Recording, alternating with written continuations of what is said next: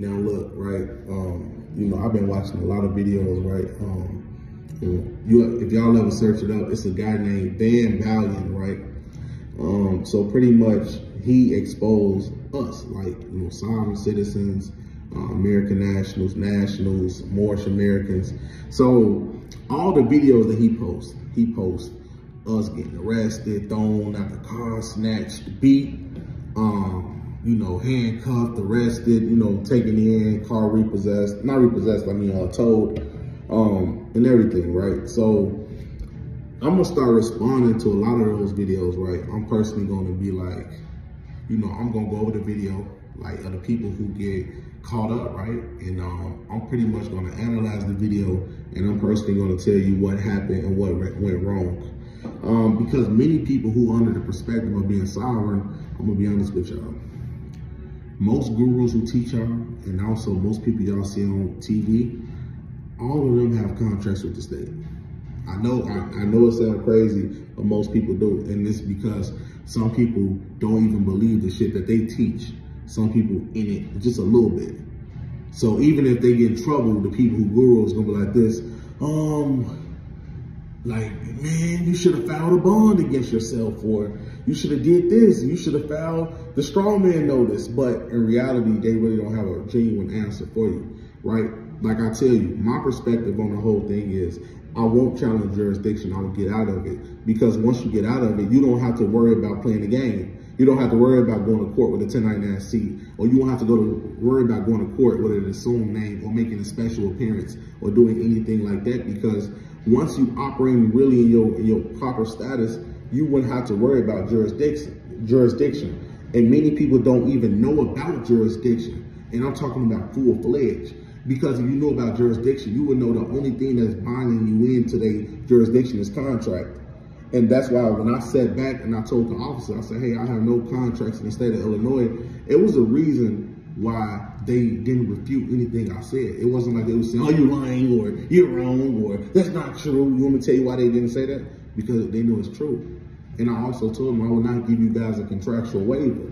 A contractual waiver is you running your mouth telling them where you live. A contractual waiver is giving them some form of jurisdiction where they can tie you in and pretty much make the arrest.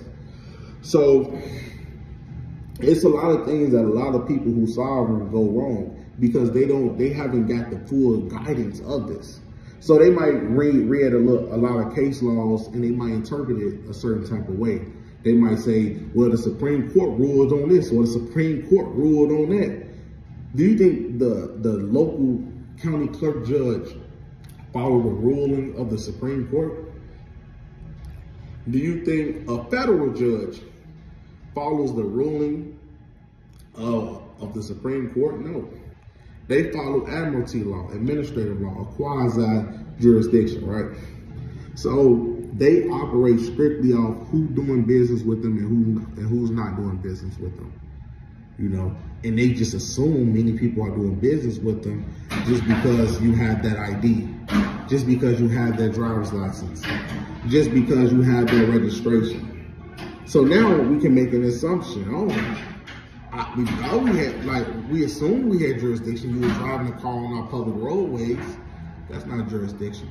Jurisdiction has to be proven, but jurisdiction is so easily proven, especially when they run into people who don't understand it. So when they run into a normal person who claim to be a sovereign, oh, they can easily get him. They can just see him.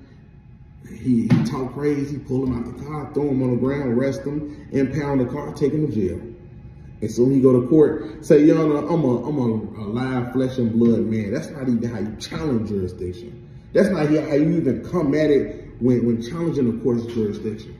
So that's why I was telling you guys, I'm like, hey, before you guys exercise your constitutional rights, you want to make sure that you are outside of jurisdiction. You want to make sure you have no contracts with the state. Because when you read a lot of criminal complaints and a lot of criminal citations, before they charge charge you with a criminal lawsuit, which is a criminal charge, they have to find some form of evidence that places you in their territorial boundaries in order for you to, um, in order for them to continue the proceedings.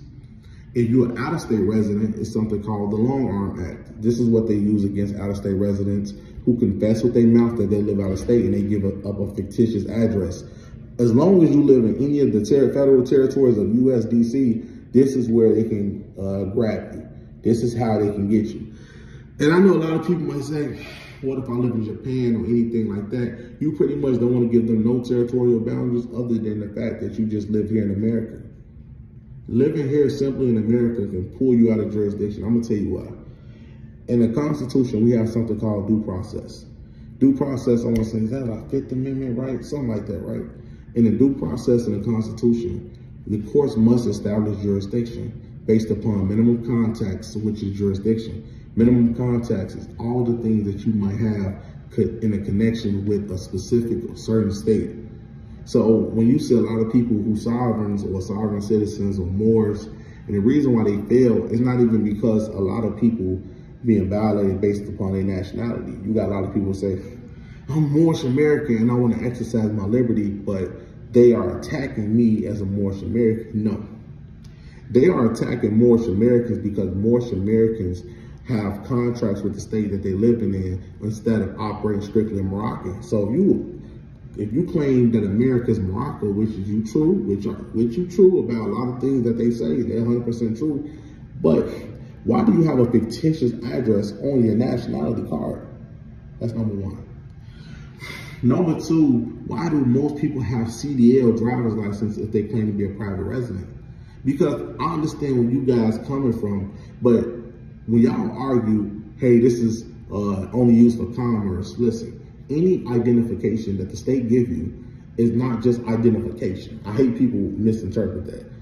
It's a damn contract. Why you think when the police pull me over, they say, um, what they what they say?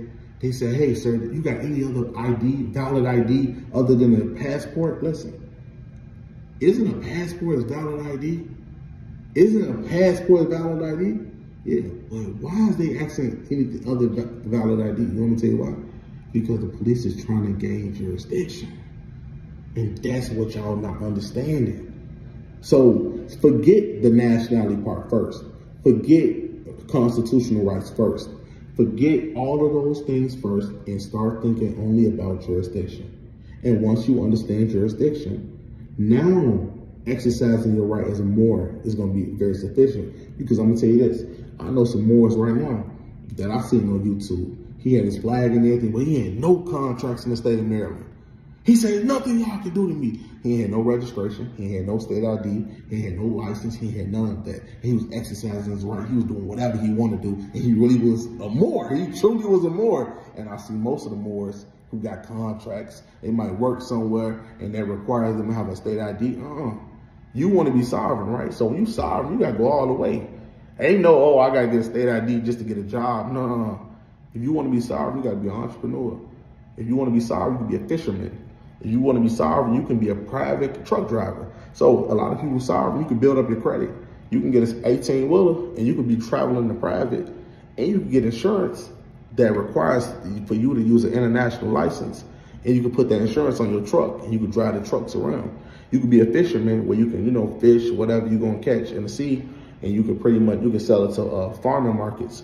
Um, you can also cook food. You can go like, um, you know, to your city downtown, you go to festivals or whatever, you can start to a restaurant. You can do a million things to make money, especially when you're talking about we moving into this lane. Because moving into this lane, it's a lot of things we couldn't do in the public. I couldn't be a police officer. I couldn't be um, a, a, work a teller at the bank because they might say, hey, we require require a state ID. I don't want to use a state ID. So guess what they're going to say?